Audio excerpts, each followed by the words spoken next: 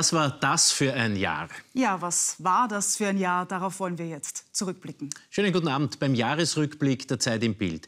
War vieles tatsächlich erwartbar? Musste es so kommen oder hat uns doch das meiste überrascht? Oder hat es uns vielmehr gerührt oder geärgert, aufgeregt oder gar verängstigt? Gehen wir den Kalender durch und machen wir eine Inventur unserer Erinnerungen. Wie hat Ihr Jahr begonnen? Mit diesen Klängen?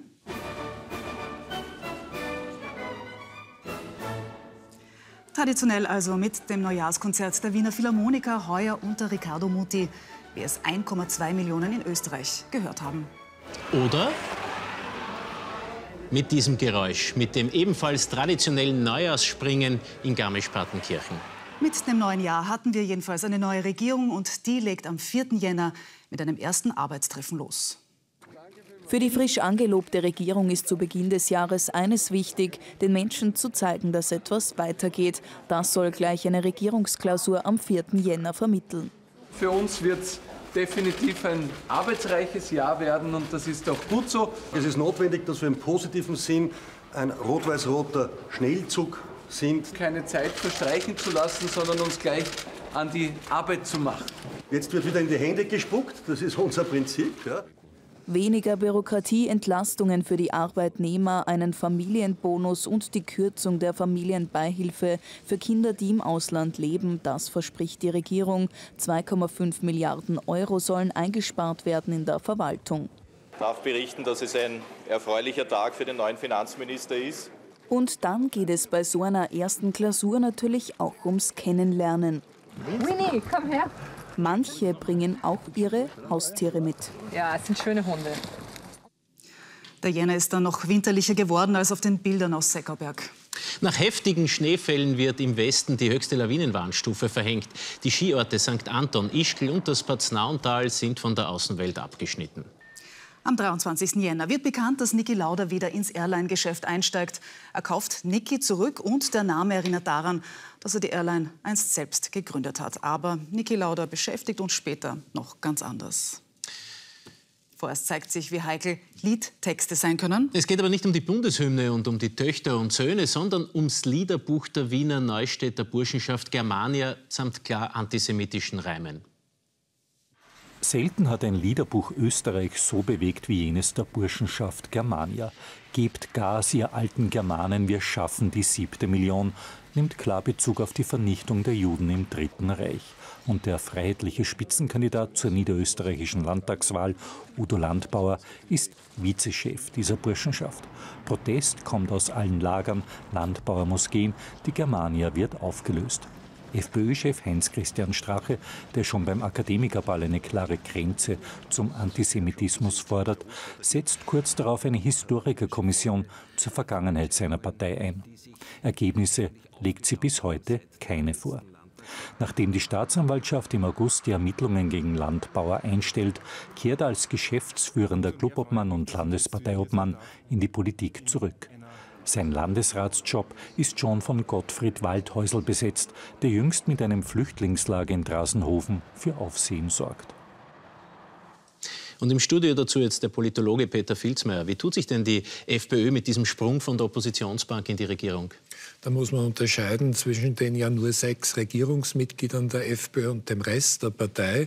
Die Regierungsmitglieder sind mehrheitlich bemüht, staatstragend aufzutreten und nicht im Verdacht der Nähe zum Trällern von zweifelhaften Liederbüchern. Anders sieht es bei der Partei aus. Da haben zum Beispiel Online-Videos im Zusammenhang mit Ausländern insbesondere gezeigt, dass man nicht ganz frei von Rassismusverdacht ist, denn es musste eines dieser Online-Videos der FPÖ zurückgezogen werden. Und wie ist das auf Länderebene?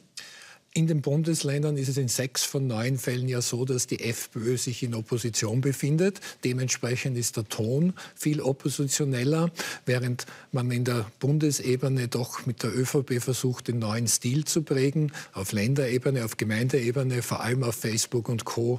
Da ist man nicht nur oppositionell, sondern manchmal eher dem Vorschlag Hammer statt der feinen Klinge führend.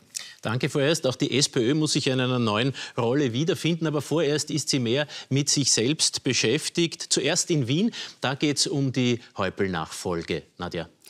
Das Duell heißt Andreas Schieder gegen Michael Ludwig. Dieser gewinnt die Kampfabstimmung mit 57 Prozent der Delegiertenstimmen. Die Schlüsselübergabe im Rathaus erfolgt im Mai. Dann verabschiedet sich auch Bürgermeister Michael Häupl nach 24 Jahren im Amt in die Politpension natürlich mit Spritzwein. Hofübergabe in Niederösterreich war schon zuvor. Am 28. Jänner bei der Landtagswahl wird die neue Regierungschefin im Landhaus deutlich bestätigt. Mit der Siegerin Johanna Mikl-Leitner bleibt das Bundesland auch nach dem Abgang von Langzeitlandeshauptmann Erwin Pröll tiefschwarz. Auch wenn die ÖVP leicht verliert, sie fällt nur knapp unter die 50-Prozent-Marke und kann die absolute Mandatsmehrheit halten. Die SPÖ legt leicht zu, die FPÖ gewinnt 6,6 Prozentpunkte. Verluste gibt es für die Grünen. Die Neos ziehen erstmals in den Landtag in Niederösterreich ein. Am 6. Februar wird der personelle Umbau an der Spitze von Arbeiterkammer und ÖGB bekannt. In der Arbeiterkammer räumt Rudolf Kaske den Chefsessel. Seine Nachfolgerin wird Renate Anderl. Im Gewerkschaftsbund tritt Wolfgang Katze an die Nachfolge von Erich Vogler an. Und in Deutschland bleibt mehr beim Alten, als den Protagonisten lieb ist. Es kommt wieder eine große Koalition und das erst fast fünf Monate nach der Bundestagswahl. Am 7. Februar steht der Regierungspakt. CDU, CSU und SPD haben sich geeinigt. Angela Merkel wird also zum vierten Mal Bundeskanzlerin. Wie wir später noch hören werden, wird sie das aber nicht die volle Amtszeit hindurch bleiben. Am 9. Februar beginnen in Südkorea die Olympischen Winterspiele. Für Österreich eine gute Saison.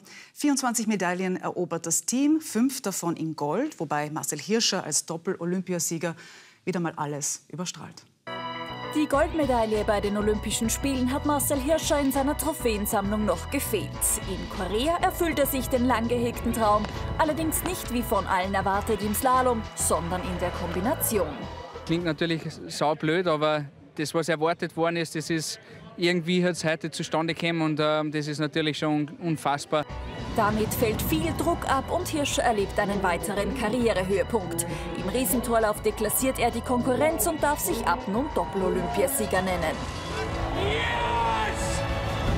Auch Matthias Meyer ist seit Korea zweifacher Olympiasieger. Der Kärntner rast nach Abfahrtsgold in Sochi vor vier Jahren im Super-G von Pyeongchang erneut zu Gold. Meyers Landsfrau Anna Gasser setzt bei den Olympischen Spielen ebenfalls zum Höhenflug an. Sie krönt sich zur Königin der Lüfte und trägt sich als erste Big Air-Siegerin in die Geschichtsbücher ein. Ja, das ist noch gar nicht realistisch, muss ich sagen. Aber ja, also es ist ein super Gefühl. Ich freue mich so, dass es heute geklappt hat. Für Rodler David Gleischer hat es im Weltcup noch nie mit einem Erfolg geklappt. Im Eiskanal von Pyeongchang erlebt der Tiroler dann aber eine Sternstunde und ist damit einer von fünf österreichischen Goldmedaillengewinnern. Alina Zellhofer aus unserer Sportredaktion. 2018 war das Jahr von Marcel Hirscher, war einfach eine Klasse für sich.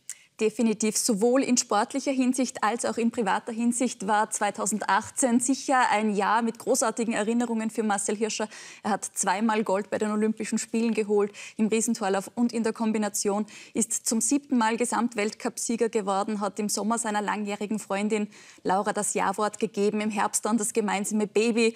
Sportler des Jahres ist er bereits zum fünften Mal geworden, also ein Rekord nach dem anderen. Sehr viele Höhepunkte für ihn im Jahr 2018. Geschichte geschrieben hat vor kurzem kurzem auch Anna Gasser. So ist es. Die Snowboarderin hat äh, vor genau einem Monat als erste Frau überhaupt den Triple Cork im äh, Snowboarden gestanden, ist sozusagen der Ko äh, Konkurrenz wieder einen Schritt oder eine halbe Drehung voraus. Es handelt sich dabei um einen dreifachen Rückwärtssalto mit halber Drehung, ganz etwas Außergewöhnliches. Außerdem ja auch bei ihr die Goldmedaille in Pyeongchang ein Highlight gewesen. Und auch sie ist ähnlich wie Marcel Hirscher wieder Holt zur Sportlerin des Jahres gewählt worden im Jahr 2018. Danke, Alina. Gerne. Im Februar ist der Ansturm auf das Don't Smoke Volksbegehren so groß, dass die Server im Innenministerium zusammenbrechen. Allein in der Zeit bis April unterschreiben fast 600.000 Menschen gegen das Rauchen in Lokalen. Und da hat die Eintragungsfrist noch gar nicht begonnen, Nadja.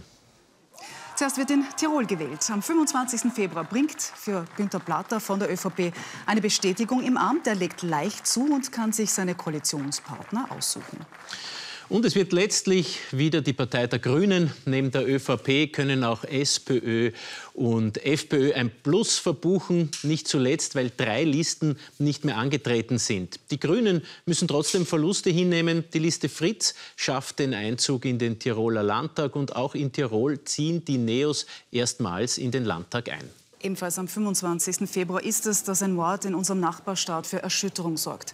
Der slowakische Aufdeckerjournalist Jan Kuciak und seine Verlobte werden umgebracht. Das führt zu den größten Protesten seit der Wende 1989 und zum Rücktritt von Regierungschef Robert Fico. Mehrere Verdächtige werden verhaftet. Nach Hintermännern wird immer noch ermittelt. Und Ermittlungen ohne Ende auch in der Causa BVT. Das Bundesamt für Verfassungsschutz und Terrorismusbekämpfung kommt nicht aus den Schlagzeilen. Erst sorgt eine Hausdurchsuchung für Aufregung, dann der BVT-U-Ausschuss. Mitarbeitern wird Amtsmissbrauch vorgeworfen. Die Opposition allerdings sieht eine Umfärbeaktion des Innenministers im Staatsschutz. Es ist der 28. Februar, Hausdurchsuchung im Bundesamt für Verfassungsschutz und Terrorismusbekämpfung, durchgeführt von der Einsatzgruppe für Straßenkriminalität. Akten werden beschlagnahmt, auch Unterlagen aus dem Extremismusreferat. Eine rechtswidrige Razzia, wie das Oberlandesgericht Wien später feststellen wird. Noch im März wird BVT-Chef Peter Griedling von Innenminister Herbert Kickel suspendiert. Die Begründung, er werde als Beschuldigter von der Staatsanwaltschaft Gesellschaft geführt. Das Bundesverwaltungsgericht hebt diese Suspendierung wieder auf. Die Opposition setzt einen Untersuchungsausschuss ein und sieht Kickel als Verantwortlichen hinter der Razzia. Seit September werden Zeugen befragt. An diesem Fall ist wenig üblich, sagt etwa der Generalsekretär des Justizministeriums Christian Pilnacek. Innenminister Herbert Kickel weist in seiner Aussage vor dem U-Ausschuss jede Verantwortung von sich. Die Causa BVT eine Belastungsprobe für die Koalition. Ging es bisher um den aktuellen blauen Innenminister, stehen im neuen Jahr die schwarzen Vorgänger im Fokus. Eine Belastungsprobe für die Grünen ist die berufliche Neuorientierung von Eva Klawischnik am 2. März. Sie steigt beim Glücksspielkonzern Novomatic ein. Wenn Satire-Webseiten die Nachrichten aus der echten Welt übernehmen, dann ist Folgendes passiert. Eva Klawischnik wird Managerin beim Glücksspielkonzern Novomatic, jene Firma, die die Grünen immer wieder kritisiert haben. Meinen kritischen Geist kann und werde ich ja nicht aufgeben. Nach dem Rauswurf aus dem Parlament war auch das Jahr 2018 kein einfaches für die Grünen. Sie verlieren bei jeder Landtagswahl. In Kärnten fliegen sie aus dem Landtag. Immerhin in Tirol bleiben sie in der Koalition mit der ÖVP. Und in Innsbruck gibt es den ersten grünen Bürgermeister Georg Willi. Die Wiener Vizebürgermeisterin Maria Vasilaku tritt im Herbst zurück. Ihr folgt Birgit Hebein. Er bleibt der Krisenmanager der Grünen. Mit 99 Prozent wählen die Delegierten Werner Kogler zum Parteichef. Rudern statt Sudern. Das will Kogler auch bei der EU-Wahl als Spitzenkandidat, eine Schicksalswahl für die Grünen. Als Schicksalswahl für die Roten galt im Vorfeld die Kärntenwahl. Tarek. Weil viele davon ausgegangen sind, es werde ein Duell SPÖ gegen FPÖ. Tatsächlich aber ist Landeshauptmann Kaiser von der SPÖ am Ende klarer Sieger. Seine Partei legt mehr als 10 Prozentpunkte zu, aber auch die FPÖ legt zu um 6 Prozentpunkte. Für die ÖVP gibt es ebenfalls ein kleines Plus. Die Grünen verlieren 9 Prozentpunkte und fliegen, wie gesagt, aus dem Landtag. Verluste auch für das Team Kärnten, das den Wiedereinzug in den Landtag aber schafft. Die Neos schaffen den Einzug nicht. Am 4. März finden auch in Italien Wahlen statt. Gewinner sind die populistische Fünf-Sterne-Bewegung und die rechte Lega von Matteo Salvini hier bei der Stimmabgabe. Diese Parteien bilden schließlich die Regierung. Anfang März sorgt der Anschlag auf den ehemaligen russischen Doppelagenten Sergei Skripal für Aufsehen. Er und seine Tochter werden im englischen Salisbury mit dem Nervengift Novichok attackiert. London vermutet zwei Russen als Täter und macht Moskau für den Anschlag verantwortlich. Dort weist man jede Verwicklung in den Fall zurück. Eine folgenschwere Attacke auch in Wien. Am 7. März werden dabei Personen schwer verletzt. Ein 23-Jähriger sticht zuerst bei einer U-Bahn-Station auf eine Familie ein und verletzt wenig später einen Drogendealer. Der Täter, ein Afghane, wird wegen Mordversuchs zu lebenslanger Haft verurteilt. Am 11. März beschließt der chinesische Volkskongress, dass der Staatschef nicht mehr nach zwei Perioden abtreten muss. Staats- und Parteichef Xi Jinping baut damit seine Macht weiter aus. Er kann künftig unbegrenzt im Amt bleiben. Nachdem bekannt wird, dass beim Bau des Wiener Krankenhaus Nord ein Energetiker 95.000 Euro für einen energetischen Schutzkreis bekommen hat, wird ein U-Ausschuss eingesetzt. Die Projektleiterin muss gehen, die Stadträtin auch. Das Krankenhaus soll im September kommenden Jahres in Vollbetrieb gehen. Wladimir Putin ist bei der Präsidentschaftswahl in Russland am 18. März einmal mehr der Wahlsieger. Er erhält knapp 77 Prozent der Stimmen und soll bis 2024 weiter regieren. Wahlbeobachter kritisieren Unregelmäßigkeiten und dass viele Oppositionskandidaten gar nicht zur Wahl zugelassen wurden. Weniger gut läuft es für den ehemaligen katalanischen Regionalpräsidenten Puigdemont. Er wird am 25. März in Deutschland festgenommen, auf der Durchreise in sein Exilland Belgien. Nach dem Unabhängigkeitsreferendum und seiner Amtsenthebung hat er sich dorthin abgesetzt. Seine Auslieferung an Spanien hat Deutschland aber abgelehnt. Puigdemont lebt nun wieder in Belgien. Auch 2018 hatten wir, wie seit sieben Jahren schon, über den blutigen Bürgerkrieg in Syrien zu berichten. Nach anfänglichen Gebietsgewinnen der Rebellen haben zuletzt die Regierungstruppen immer mehr Gebiete zurückerobert. Besonders umkämpft war im letzten Jahr Ostguta in der Nähe von Damaskus. Mehr als 1700 Zivilisten sind dabei getötet worden. Es ist ein Albtraum für die Bewohner von Ostguta. Wochenlang wird die Rebellenenklave von der syrischen Armee mit russischer Unterstützung bombardiert. Immer wieder trifft es auch Schulen und Krankenhäuser. Man kann nur noch im Keller die Verletzten versorgen. Oben ist es zu gefährlich. Waffenruhen werden zwar vereinbart, aber immer wieder gebrochen. Fassbomben kommen zum Einsatz und laut UNO-Menschenrechtsrat sogar Chemiewaffen.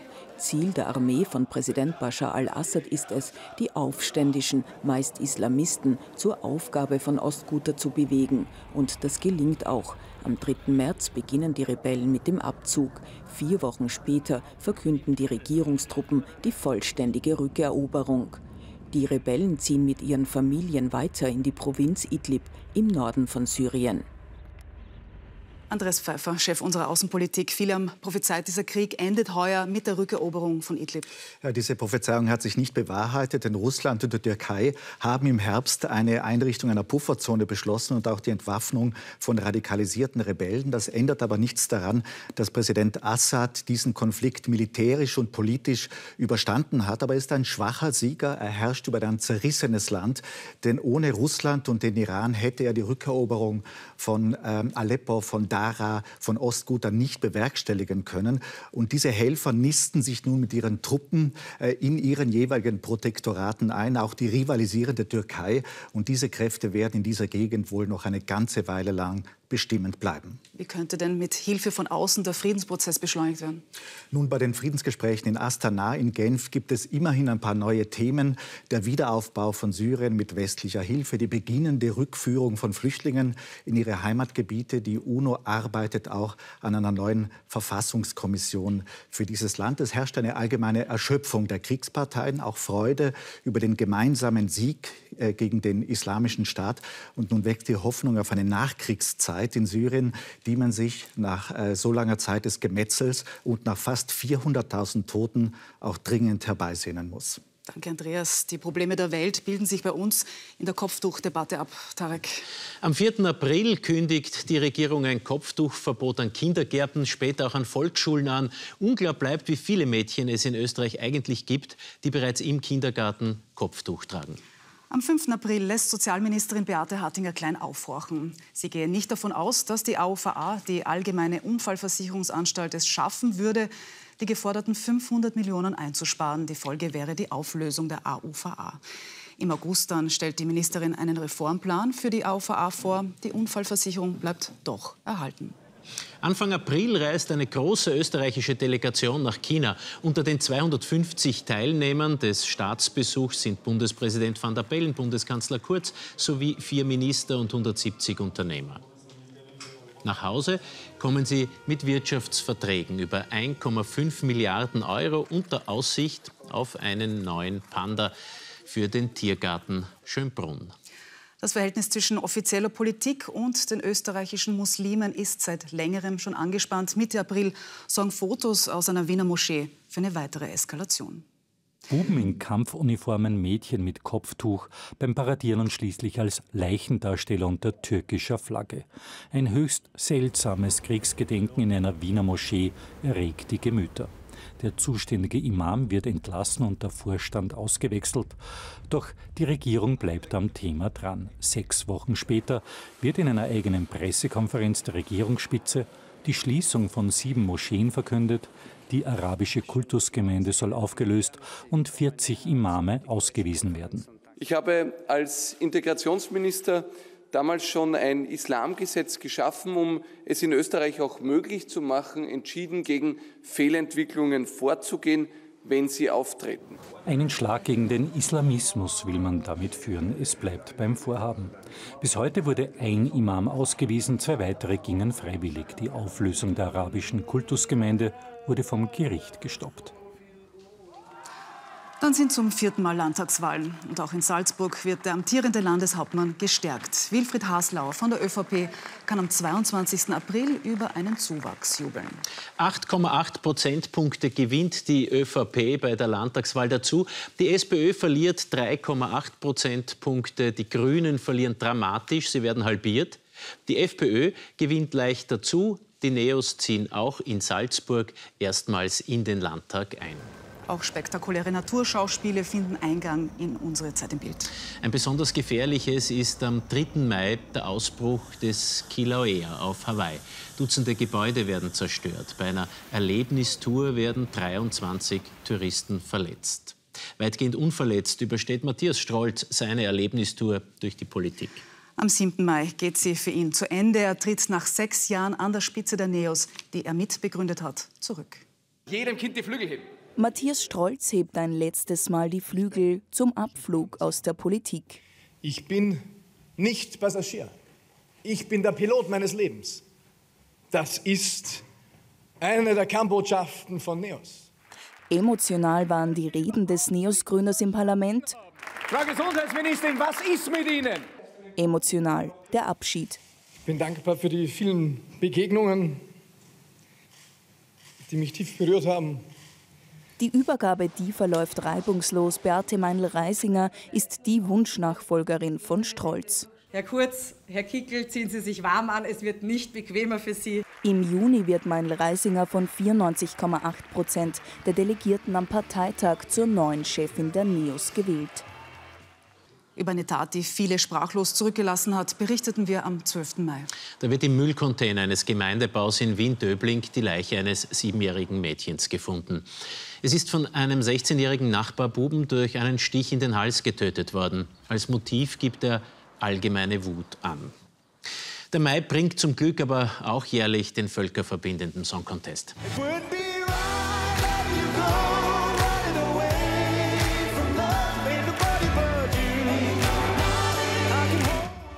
Der 34-jährige Linzer Cesar Sampson holt beim Eurovision Song Contest am 12. Mai in Lissabon den sensationellen dritten Platz mit dem Lied Nobody But You.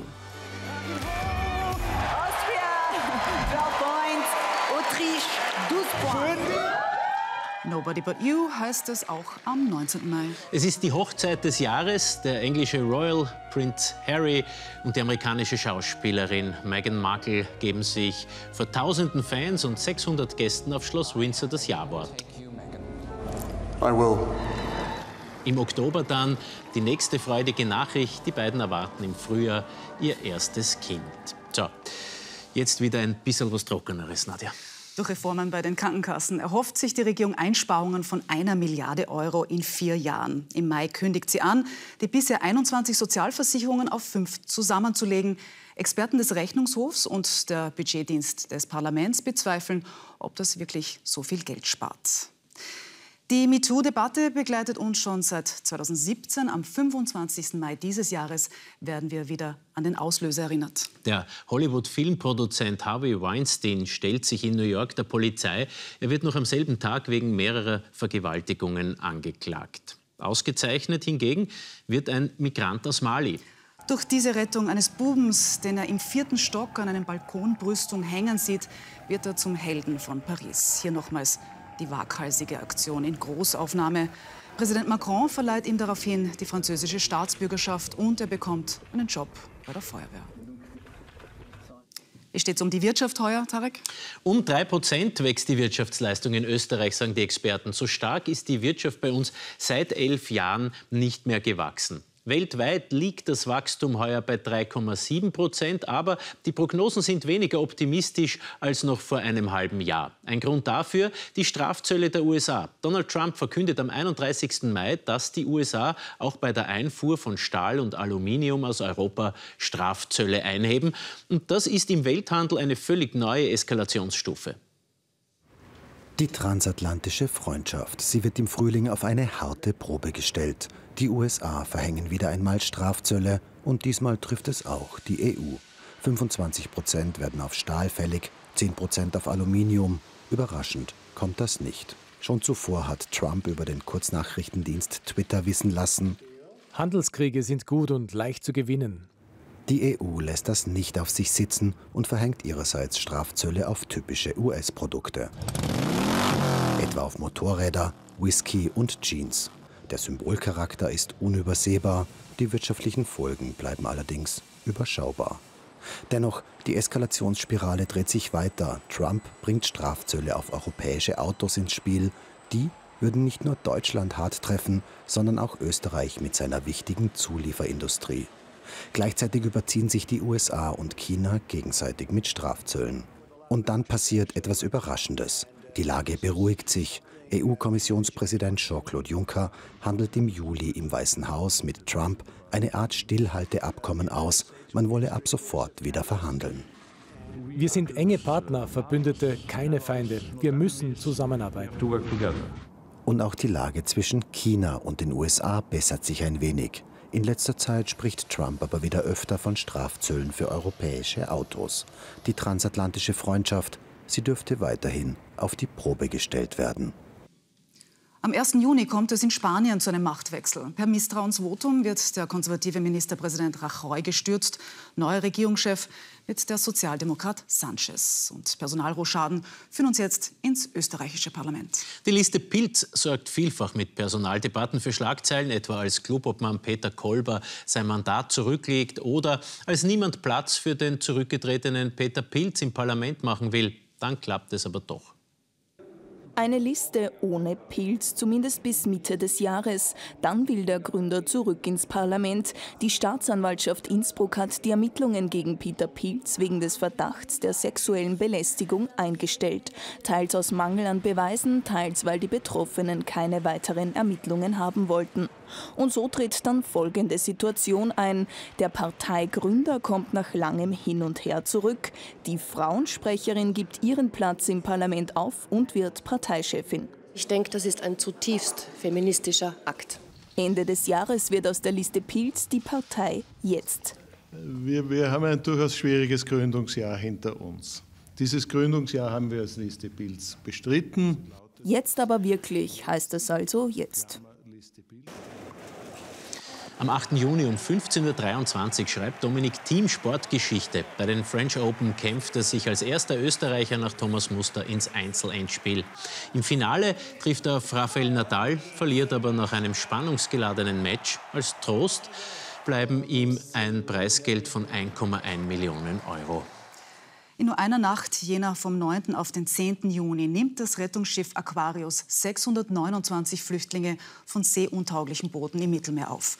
Und die EU hat auch in diesem Jahr noch keine gemeinsame Lösung des Problems gefunden. Und das, obwohl die Dimension in den letzten drei Jahren stark zurückgegangen ist.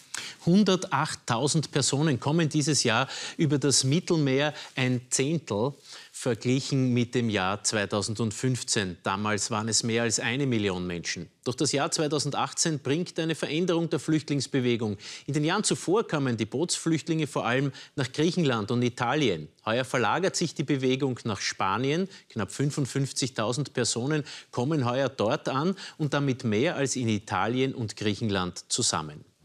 Seit 40 Jahren fährt die Aquarius schon über die Weltmeere, doch heuer ist das Jahr, in dem sie weltweit, je nach Standpunkt, berühmt oder berüchtigt wird.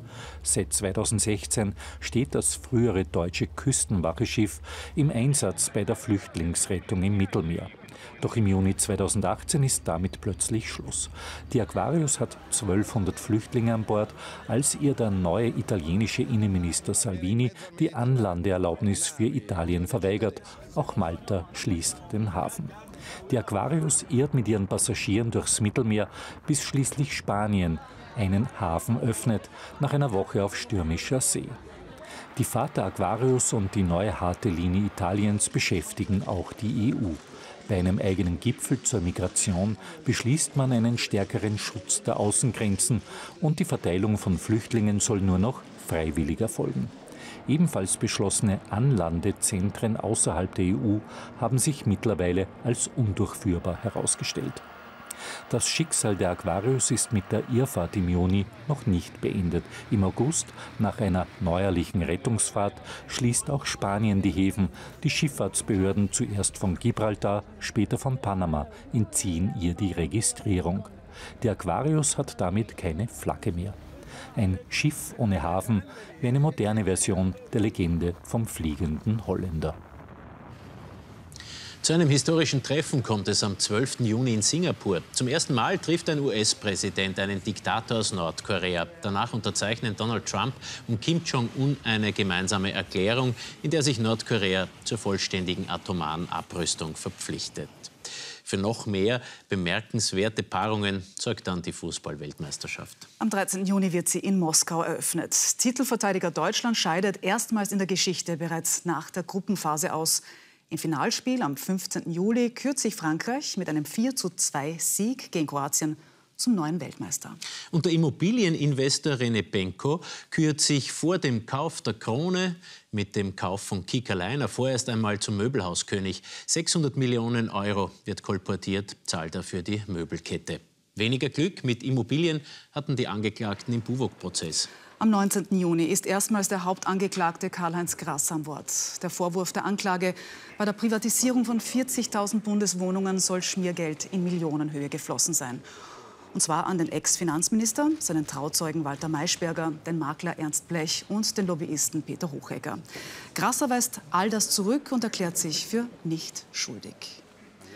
Was hat die Regierung in ihrem ersten halben Jahr gemacht, Tarek? Viele Reformvorhaben angekündigt und einige auch gleich umgesetzt, unter anderem die umstrittene Ausweitung der Regelarbeitszeit. Die führt am 30. Juni zu Protestaktionen.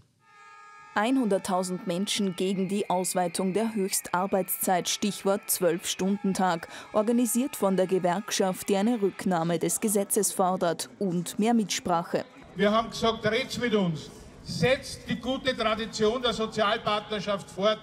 Die Hand wurde weggeschlagen. Deswegen sind wir heute da, liebe Kolleginnen und Kollegen. Die Regierung lässt sich davon nicht beeindrucken und setzt das Gesetz früher als geplant um, flexiblere Arbeitszeiten bereits ab September statt zu Jahresbeginn. Das sorgt für Kritik, durchpeitschen nennt das die Opposition. Nicht nur die Gewerkschaft protestiert, auch tausende Menschen auf den Donnerstagsdemos. Reformen hat die Regierung versprochen und führt einen Familienbonus ab 2019 ein. Das ist ein Absetzbetrag von bis zu 1500 Euro pro Kind und Jahr. Nach längerem Hin und Her mit den Ländern bringt die Regierung ein einheitliches Modell der Mindestsicherung auf den Weg. Mehr für Alleinerzieher und weniger für Großfamilien und Zuwanderer, die nicht Deutsch lernen wollen. Erstens Fairness für Österreicher. Fremde müssen warten. Die Pläne der Regierung für 2019, Pflege neu aufstellen und ein neues Arbeitslosengeld. Noch einmal, Peter Filzmeier, wofür steht denn diese neue Regierung, beziehungsweise wofür will sie stehen? Es ist die Regierung einer Mitte-Rechtspartei ÖVP mit einer Rechtspartei FPÖ und die steht beispielsweise naturgemäß für Wirtschaftsliberalismus. Das zeigt sich anhand des Gesetzes für flexible Arbeitszeiten, Vulgo 12-Stunden-Tag. Das zeigt sich aber auch von Schule bis Wirtschaft, dass man den Begriff Leistung in den Mittelpunkt stellt, die Leistungsgerechtigkeit. Das Slogan lautet, Leistung muss sich lohnen, weniger die Chancengerechtigkeit, denn der Kritikpunkt ist, die Chancen aufgrund unterschiedlicher Bildungsmöglichkeiten Möglichkeiten beispielsweise wären eben ungleich verteilt, dass man gut bezahlte Leistung überhaupt erbringen kann. Und wie sieht es mit dem viel zitierten neuen Stil der Regierung aus? Die Regierung macht nicht den Fehler, sich Unfreundlichkeiten über Massenmedien auszurichten. Im Gegenteil, man ist schon fast den Eindruck erweckend, man hat die Kreide als Nahrungsergänzungsmittel entdeckt. So weich und sanft ist man im Umgang miteinander. Und das ist aber auch eine zweiten Komponente wichtig für die Regierung. Kritiker wird gern schlechter Stil unterstellt, sei es der Opposition, sei es den Medien, wobei das schon ein bisschen auch äh, frivol ist, denn Sachkritik ist Demokratie und nicht schlechter Stil. Danke, Peter Filzmeier. Zur Jahresmitte übernimmt die Regierung noch eine weitere Rolle. Nadja. Die österreichische EU-Ratspräsidentschaft beginnt am 1. Juli. Es ist das dritte Mal nach 1998 und 2006. Großes Thema ist natürlich der Brexit, aber es geht auch um Sicherheit und Migration in Europa.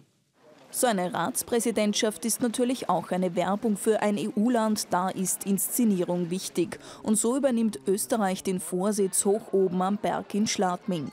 Wir wollen den Ratsvorsitz nutzen, um Brückenbauer in der Europäischen Union zu sein, Spannungen innerhalb Europas wieder abzubauen. Auch wenn die Regierung ihr Thema Migration in den Vordergrund stellt, ist und bleibt der Brexit das große Thema der Ratspräsidentschaft. Der Austritt Großbritanniens aus der EU, der muss geregelt werden, was Bundeskanzler Kurz einige Besucher bei der britischen Premierministerin Theresa May verschafft.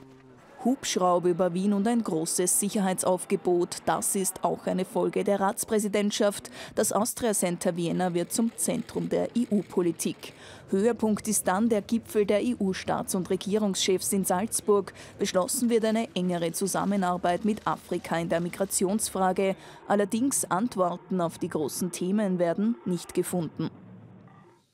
Die Welt blickt in diesen frühen Sommertagen nach Thailand. Es ist das Schicksal dieser 13 Burschen und ihres Trainers, das auch uns in der Sendung tagelang beschäftigt. Bei einem Ausflug in eine Höhle wird das Fußballteam von Wassermassen überrascht. Erst nach neun Tagen wird es gefunden. Die Jugendlichen müssen mit Rettungstauchern drei Kilometer durch die überflutete Höhle gebracht werden. Ein Taucher stirbt, aber die Buben werden alle gerettet. Vom Wasser zum Feuer. In Griechenland, ganz nahe der Hauptstadt Athen, wüten ab dem 24. Juli verheerende Waldbrände. 99 Menschen kommen ums Leben, auch weil die Rettungsmaßnahmen versagen. Wegen der Trockenheit und des Windes breiten sich die Brände rasch aus. Erst drei Wochen später können sie vollständig gelöscht werden. MeToo hat uns in diesem Rückblick schon einmal beschäftigt. Jetzt erreicht die Debatte Erl in Tirol. Es geht um Vorwürfe wegen sexueller Übergriffe gegen den Leiter der Festspiele Gustav Kuhn. Fünf Künstlerinnen unterschreiben einen offenen Brief und bekräftigen in Interviews die Vorwürfe. Kuhn stellt seine künstlerische Leitung zunächst ruhend. Im Oktober weist er in der ZIP 2 alle Anschuldigungen von sich, doch zwei Tage später legt er alle Funktionen zurück. Auch einvernehmlicher Sex kann einem große Schwierigkeiten machen. Und zwar in den USA. Da wird ein 18-jähriger Oberösterreicher Ende Juli in Florida festgenommen nach Sex mit seiner 15-jährigen Freundin, bei der er auf Besuch ist. In Florida ist Sex mit unter 16-Jährigen verboten und wird mit bis zu 15 Jahren Haft bestraft. Leo S. kommt nach zehn Tagen im Gefängnis, aber wieder frei. Am 31. Juli muss eine der größten Textilketten Österreichs Insolvenz anmelden. Der Modehändler Vögele schlittert in die Pleite, weil der Mutterkonzern in der Schweiz zahlungsunfähig ist. Ein Unternehmen aus München kauft die insolvente Kette. 31 Filialen werden geschlossen. Mehr als 250 Mitarbeiter verlieren ihren Arbeitsplatz. Tempolimit 140 heißt es seit 1. August auf zwei Abschnitten der Westautobahn. Im Rahmen des Probebetriebs wird das Tempolimit auf einer Streckenlänge von insgesamt 60 Kilometern erhöht. Rechnerische Zeitersparnis zwei Minuten. Der Mann der noch höheren Geschwindigkeiten, Niki Lauda, unterzieht sich am 2. August am Wiener AKH einer Lungentransplantation. Beim Ex-Rennfahrer sind nach einer Sommergrippe Probleme aufgetreten. Lauda geht es inzwischen den Umständen entsprechend wieder gut. Uns wird der Sommer 2018 in Erinnerung bleiben als einer der heißesten bisher. Der 9. August ist der heißeste Tag des Jahres. 37,3 Grad werden in Enns gemessen. Überdurchschnittlich warm ist es aber nicht nur an diesem einen Tag, sondern im gesamten Sommerhalbjahr. Es ist das heißeste seit Beginn der Wetteraufzeichnungen und die gehen in Österreich immerhin bis ins Jahr 1767 zurück. Verglichen mit den Durchschnittstemperaturen des 20. Jahrhunderts ist dieses Sommerhalbjahr um 3,6 Grad zu warm. Und es ist das 34. in Folge, in dem die Temperaturen über dem langjährigen Mittel liegen, Tarek. Und die andauernde Hitze hat auch Folgen für die Natur. Dürreschäden und massive Unwetter machen im Sommer und Herbst immer wieder Schlagzeilen. Die Landwirtschaft leidet diesen Sommer massiv unter Dürre. Im Norden und Westen Österreichs regnet es von März bis August teilweise 85 Prozent weniger als im zehnjährigen Durchschnitt. Vor allem der Weizen ist betroffen, aber auch Grünland. So muss Futter für die Tiere zugekauft werden. Der Schaden beläuft sich auf ca. 230 Millionen Euro. Die Wetterextreme zeigen sich aber auch von einer anderen Seite. Starkregen, Überschwemmungen, Hochwasser und Erdrutsche bringen die Bewohner einiger Regionen an die Grenzen ihrer Kräfte. Das habe ich nicht erlebt. Ich habe 50 Jahre da oben. Ostösterreich wird Ende Oktober von einem Sturm mit Spitzen um die 150 km/h heimgesucht. Kurze Zeit später regnet es in Oberkärnten und Osttirol in drei Tagen mehr als sonst in einem ganzen Monat. In der Gemeinde Rattendorf kommt es zu einem Dammbruch. Das Lesachtal ist nach Murenabgängen tagelang von der Außenwelt abgeschnitten. Bei uns im Studio jetzt der Leiter unserer Wetterredaktion, Markus Watzak. Wie sehr war denn auch für den langjährigen Wetterbeobachter das Jahr 2018 außergewöhnlich? Ganz einfach, sehr außergewöhnlich. So ein Wetterjahr wie 2018 hat noch niemand von uns erlebt. Kleines Beispiel, warme Sommertage, 25 Grad und mehr. 127 davon haben wir in Andau im Burgenland gehabt. Damit haben wir den alten Rekord nicht ein bisschen gebrochen, sondern um sieben Tage, um eine ganze Woche war es hier mehr warm als üblich. Ist damit der Klimawandel im heurigen Jahr in unserem Alltag angekommen? Der Klimawandel ist längst in Österreich angekommen, das ist fix. Heuer ist sicherlich das erste Jahr, wo es ganz viele Menschen bemerkt haben. Überall ist es zu merken, sei es in der Landwirtschaft, sei es auch, auch positiv. Zum Beispiel, wie oft waren wir heuer baden? Danke, Markus Watzak. Ein schweres Unwetter war zwar nicht Auslöser, aber Begleiter einer anderen Katastrophe, Nadja. Am 14. August um die Mittagszeit stürzt während eines heftigen Sturms eine Autobahnbrücke in Genua ein. Autos werden in die Tiefe gerissen und Häuser unter den Trümmern begraben. 43 Menschen kommen ums Leben. Oh mein Gott, ruft dieser Augenzeuge. Die Morandi-Brücke stürzt mit voller Wucht rund 40 Meter in die Tiefe. Dieser Lkw-Fahrer hat unbeschreibliches Glück. Doch 30 andere Fahrzeuge werden mitgerissen, Dutzende Menschen unter den Trümmern begraben. Die Rettungskräfte sind rund um die Uhr im Einsatz und suchen nach Vermissten. Die italienische Regierung macht die private Autobahnbetreibergesellschaft für das Unglück verantwortlich, wegen angeblich mangelnder Wartung. Doch das Unternehmen weist alle Schuld von sich.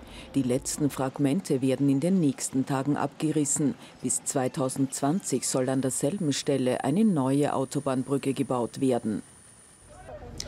Eine Hochzeit hatten wir ja schon in der Sendung, aber diese am 18. August hier in der Steiermark mit dem russischen Präsidenten Putin sorgte für politische Aufregung.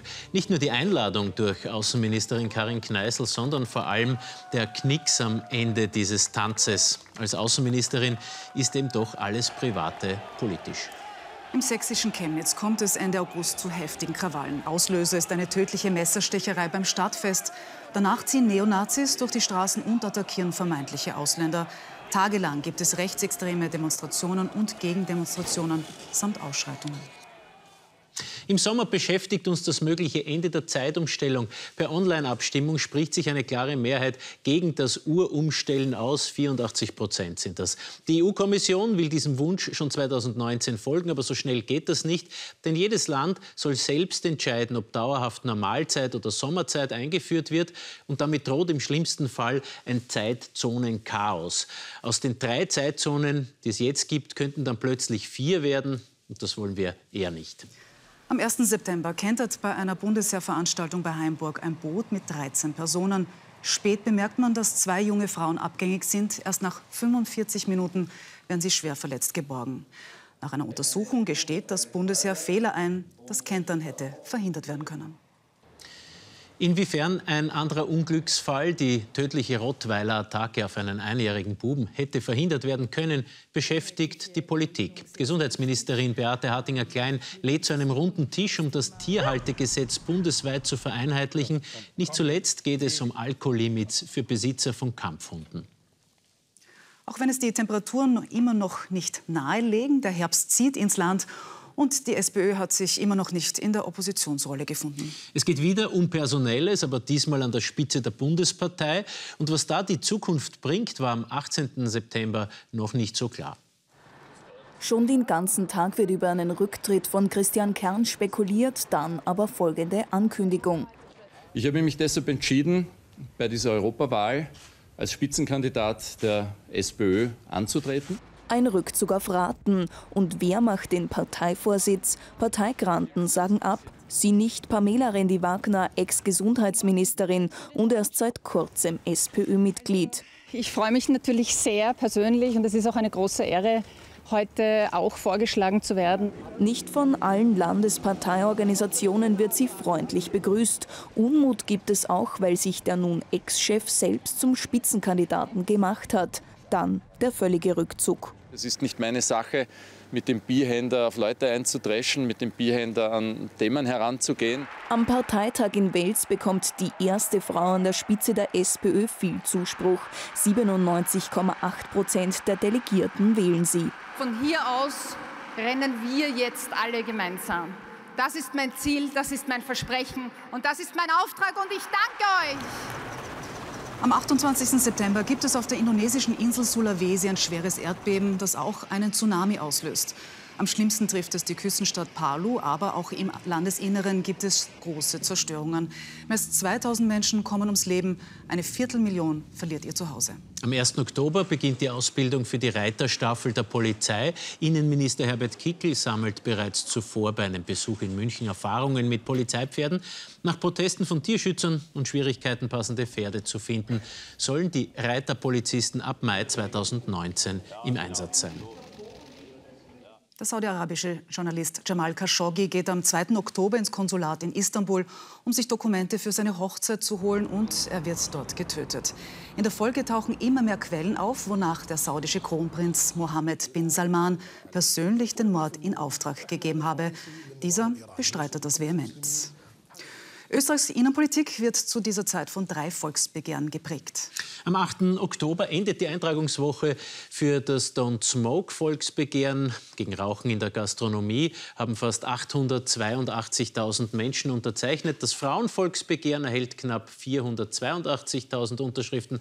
Und das von der Christlichen Partei Österreichs initiierte Volksbegehren gegen Rundfunkgebühren wird von 320.000 Menschen unterzeichnet. Für Deutschland wie viele Beobachter meinen, aber auch ein Stück weit für Europa. Beginnt am 29. Oktober das Ende einer Ära. Angela Merkel kündigt nach 18 Jahren als CDU-Chefin ihren Rücktritt an. Bundeskanzlerin bleibt sie vorerst. Ihre Wunschnachfolgerin Annegret Kramp-Karrenbauer wird beim Parteitag vor einer Woche zur neuen CDU-Vorsitzenden gewählt. Annegret Kramp-Karrenbauer, AKK, wie sie in der Partei genannt wird, ist sichtlich gerührt. Ich nehme die Wahl an und bedanke mich für das Vertrauen. Sie setzt sich allerdings nur knapp in einer Stichwahl gegen Friedrich Merz durch. Seine Anhänger sind enttäuscht, vor allem im konservativen Lager herrscht Unmut. Dieser CDU-Parteitag ist auch ein Abschied von Angela Merkel. Der Druck auf Merkel war in den vergangenen Monaten gewachsen. Nach den Wahlschlappen in Bayern und Hessen hatte sie Ende Oktober ihren Rückzug von der CDU-Spitze erklärt. Ich wurde nicht als Kanzlerin geboren. Und das habe ich auch nie vergessen. Zugleich habe ich das sichere Gefühl, dass es heute an der Zeit ist, ein neues Kapitel aufzuschlagen. Merkels Wunschnachfolgerin wird die Gräben in der CDU überwinden müssen, vor allem beim Dauerstreitthema Flüchtlingspolitik. Ja, Andreas Pfeiffer, die Flüchtlingspolitik und ihre Nachwehen haben Deutschland das ganze Jahr über beschäftigt und wohl auch destabilisiert. Ja, wir erinnern uns an das Dauergezänk zwischen Angela Merkel und ihrem Innenminister Horst Seehofer. Deutschland ist seit 2018 nicht mehr die Richtgröße für besonnene, vernünftige Politik. Die großen Volksparteien CDU, SPD äh, schrumpfen merklich. Es profitieren die Grünen, aber vor allem die ausländerfeindliche AfD, die sich mit 92 Abgeordneten im Bundestag, aber auch in allen Länderparlamenten beheimatet hat. Es ist ein Verlust der Mitte für Deutschland. Und Angela Merkel wird sich künftig schwer tun, die Zentrifugalkräfte weiter zu bändigen. Ein neues Kapitel aufschlagen, hat Angela Merkel gesagt. Was bedeutet denn jetzt Ihr Teilabschied? Ja, vorerst ist die Merkel-Dämmerung vertagt. Mit Kramp-Karrenbauer kann sie ihre moderierende Kanzlerschaft wohl noch eine äh, Weile fortführen. Aber die Große Koalition in Berlin, sie sieht eigentlich vor sich hin. Und auch international hat Merkel an Autorität verloren in Fragen der Flüchtlingspolitik, der europäischen Integration Kommunikation geben längst andere Länder den Ton an. Merkel war einmal die Gegengestalt zu Donald Trump, wie man sagte, die Anführerin der freien westlichen Welt. Diese Zeiten sind vorbei. Mit ihrer besonnenen Politik war Angela Merkel wohl die Antithese zum US-Präsidenten Tarek. Der hat am 6. November Wahlen zu schlagen, die Midterm Elections, immer ein Stimmungstest. Sie gehen für Trump gemischt aus. Seine Partei verliert zwar das Repräsentantenhaus an die Demokraten, den Senat können die Republikaner aber halten. Seit den Kongresswahlen sind die gesellschaftlichen Gräben in den USA tiefer geworden. Diese Spaltung könnte zur Bedrohung für die Welt werden, warnen politische Beobachter. Seinen Fans hat Donald Trump allerdings wieder Perspektiven gegeben. Immer mehr weiße Amerikaner haben Abstiegsängste. Die guten Wirtschaftsdaten machen ihnen Mut. The best economy in the history of our country. Trumps aggressive, fremdenfeindliche Rhetorik begeistert seine Anhänger. Kurz vor den Zwischenwahlen greift ein Rechtsradikaler eine Synagoge an, tötet elf Gläubige. Trump schreibt damals auf Twitter, wir müssen uns vereinen, um den Hass zu besiegen. Anders klingen seine Kommentare zu Migranten aus Süd- und Mittelamerika. Sie sind keine Menschen, sie sind Tiere. Bei Verbündeten wie Deutschland sorgt seine Politik für Verunsicherung. Trump kündigt das Iran-Abkommen, steigt aus dem Klimavertrag aus, droht mit Handelskriegen.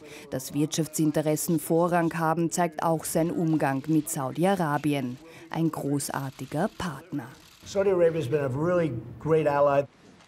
In der Russland-Affäre gerät Trump nach einem Eingeständnis seines früheren Anwalts noch mehr unter Druck. In diesem Zusammenhang könnten nun die Demokraten mit ihrer gewonnenen Mehrheit im Repräsentantenhaus Untersuchungen einleiten. Kein Grund für Trump, nicht schon einen Blick auf seine zweite Amtszeit zu richten. Ja, Andreas Pfeiffer, Trump rechnet sich also eine zweite Amtszeit aus, obwohl die Skandalchronik seiner Politik kein Ende nimmt. Ja, die Zwischenwahlen haben es gezeigt. Der harte Kern und auch ein Teil der Republikanischen Partei sind immun gegen die Unsäglichkeiten äh, von Donald Trump. Und das wird so weitergehen, wenn der wirtschaftliche Aufschwung in den USA anhält. Aber die Zeit arbeitet auch gegen ihn. Amerika wird demografisch bunter. Das muss man ganz äh, klar feststellen. Und die Demokraten werden im Repräsentantenhaus alle Skandale ins Rampenlicht rücken. Vor allem die Russland-Affäre, die Sexskandale, auch die Steuersünden von Donald Trump. Was sich noch nicht gezeigt hat, ist ein klarer Gegenkandidat, ein demokratischer Konkurrent. Wenn auch er sich findet, dann könnte der politische Amoklauf von Donald Trump nach einer Runde tatsächlich vorbei sein. Der Rest der Welt hat sich etwas schwer getan, äh, sich an diesen Präsidenten zu gewöhnen. Hat man mittlerweile einen Modus vivendi gefunden? Nun, nicht mehr jeder Tweet löst ein Erdbeben aus. Manchmal genügt auch ein Kopfschütteln. Aber an der Diagnose hat sich nicht ge nichts geändert. Dieser Mann ist eigentlich nicht paktfähig, eigentlich auch nicht politikfähig. Einige Gewissheiten sind mit Donald Trump verblasst. Die transatlantische Freundschaft, die diplomatische Leitkultur auf dieser Welt, eigentlich auch das unverrückbare Festhalten an der westlichen liberalen Demokratie. Diese Einsichten werden uns auch ins neue Jahr begleiten. Ja, nur zwei Tage nach den Kongresswahlen beherrscht ein ganz anderes Thema die amerikanischen Medien, Tarek. In der Früh des 8. November bricht in Kalifornien ein Waldbrand aus. Die Stadt Paradise wird fast vollständig zerstört. 88 Personen sterben in den Flammen, 25 werden immer noch vermisst. Es ist der Brand mit den meisten Toten in der Geschichte Kaliforniens. Erst nach zwei Wochen kann er gelöscht werden. Spionageverdacht im österreichischen Bundesheer heißt es im November von Kanzler und Verteidigungsminister. Ein bereits pensionierter 70-jähriger Offizier soll seit 1992 für Russland spioniert haben. Die Beziehungen zwischen Österreich und Russland sind daraufhin vorübergehend angespannt. Angespannt auch die Lage in Frankreich, seit die Gelbwestenbewegung auf den Straßen ist. Zehntausende protestieren über Wochen hinweg. Zuerst gegen die Steuererhöhung für Sprit, dann gegen Macron selbst. In Paris und anderen Städten kommt es zu gewalttätigen Ausschreitungen. Macron steuert gegen und will die Mindestlöhne anheben. Und Frankreich ist vor wenigen Tagen noch einmal Schauplatz eines Ereignisses, das die Schlagzeilen des Jahres 2018 prägt. Das Attentat auf Besucher eines Weihnachtsmarkts in Straßburg. Die Ermittler gehen von Terror aus. Und unser Kollege, ORF-Korrespondent Peter Fritz, wird zufällig Zeuge des Attentats. Ich habe dann dort schon einen Menschen liegen gesehen mit mindestens einem Kopfschuss. Wir haben dort gemeinsam mit Passanten versucht, ihn zuerst auf der Straße wiederzubeleben. Aber es war offenbar ohne Erfolg. Und der 12.12. .12. wird schließlich ein Schicksalstag für die britische Premierministerin Theresa May. Zuerst bringt sie ihren Brexit-Deal in den eigenen Reihen nicht durch, dann blockt die EU Nachverhandlungen ab und zuletzt steht sie selbst in Frage. Da war Theresa May noch zu Scherzen aufgelegt. Am Parteitag ihrer konservativen Tories Anfang November gibt sie sich optimistisch. Wenn wir zusammenhalten, können wir ein zufriedenstellendes Abkommen für Großbritannien erreichen. Doch es kommt anders. May kämpft mit Widerstand in den eigenen Reihen. Dutzende Brexit-Hardliner lehnen den von ihr mit der EU ausverhandelten Austrittsvertrag ab. Er sei zu EU-freundlich. May findet keine Mehrheit für dieses Abkommen und muss die Abstimmung darüber in letzter Minute verschieben. Die Premierministerin kämpft weiter, tourt durch Europa. Ihre Botschaft, wenn die EU einen harten Brexit verhindern will, soll sie Zugeständnisse machen. Vor allem geht es dabei um die vereinbarten Sonderregeln für Irland, die dort offene Grenzen garantieren sollen. Doch Brüssel lehnt Nachverhandlungen ab. Indes Chaos im eigenen Land. May muss sich einem Misstrauensvotum stellen. Sie übersteht es. Es folgt der nächste EU-Gipfel, der sich mit dem Austritt der Briten beschäftigen muss. Und die Gefahr ist noch immer nicht gebannt, dass es zu einem harten Brexit, einer chaotischen Trennung kommen wird. Der Brexit ohne Zweifel ein Thema, mit dem der Jahresrückblick 2019 gleich beginnen wird. Aber wer weiß? Vielleicht nimmt der Weltenlauf ja auch Wendungen und Abzweigungen, mit denen noch keiner von uns rechnet. Wir werden das Weltgeschehen jedenfalls von hier aus für Sie weiter genau beobachten. Gemeinsam mit unseren Kollegen aus der Zeit in Bildredaktion, den Reportern, Grafikern, Regie und Technik, die auch für den diesjährigen Jahresrückblick gearbeitet haben. Und dann blicken wir wieder zurück auf das, was jetzt noch wie ein weißes Blatt Papier vor uns liegt. Hoffentlich wird eine gute Geschichte darauf geschrieben. Auch wenn es bis zum Jahreswechsel noch ein paar Tage und ein paar Ereignisse hin ist. Von uns beiden und von der gesamten ZIP-Redaktion schon jetzt alles Gute für das Jahr 2019. Auf Wiedersehen. Auf Wiedersehen.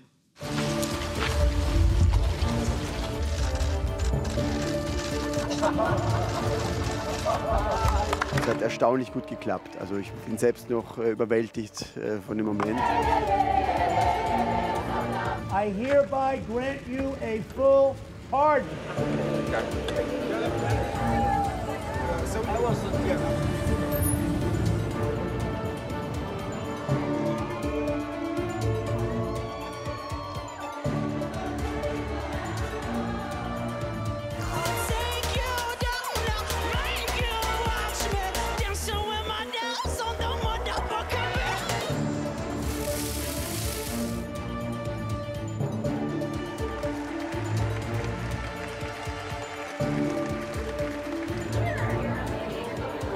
Möchten Sie zum Abschluss unseren Zusehern noch etwas auf Deutsch sagen? Vielen Dank für Ihre Aufmerksamkeit.